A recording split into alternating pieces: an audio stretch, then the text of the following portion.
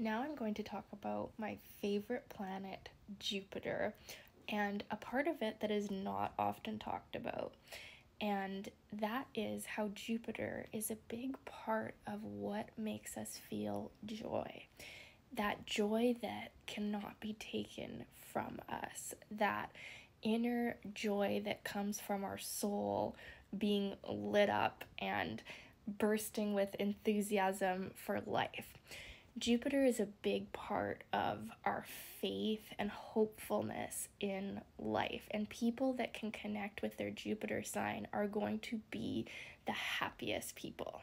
People with Jupiter in the fire signs of Aries, Leo, and Sagittarius feel joyful and have faith in life and their future when they are being physically active, taking risks, and it doesn't have to mean like huge risk like gambling or something like that, but doing something daring or courageous in whatever way they see fit.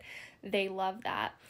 And they need to be finding a way to outlet their enthusiasm and creative energies and bursts of impulsive fiery flames, they need to find an outlet for that. So, ideally, people with Jupiter in the fire signs are inspiring others on a daily basis, um, having lots of physical activity to keep that fire flowing, and also just really being their shiny, confident self, which then inspires confidence in others.